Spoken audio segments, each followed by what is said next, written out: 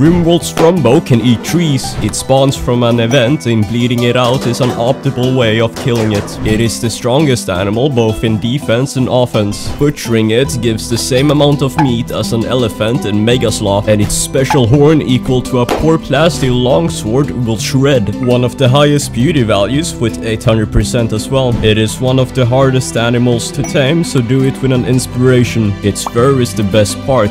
Make full armor and it will make you survive sub-zero temperatures and the toughest fabric which can deflect bullets tied with hyperweave. So